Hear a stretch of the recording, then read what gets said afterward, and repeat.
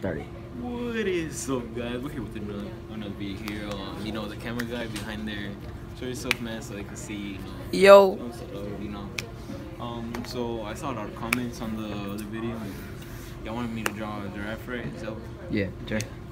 so you already know. First is a name. You already know. Luis number two. All right. So the title it is gonna be the the long neck.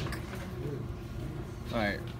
So what you're gonna want to do, obviously, is the long neck.